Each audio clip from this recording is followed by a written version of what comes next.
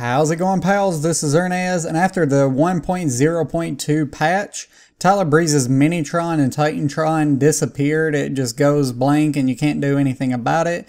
But I did find a solution that works for me and I thought I would share it with you guys just in case it'll work for you as well.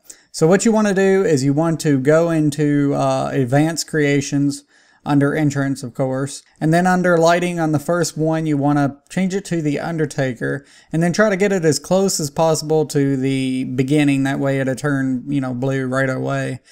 And then after that, guys, you want to just go ahead and save it, and then you'll have uh, Tyler Breeze's Minitron and Titantron back. The only difference is, is that you won't have the little beginning where it's black or whatever, but I think this looks better than not having any Titantron at all.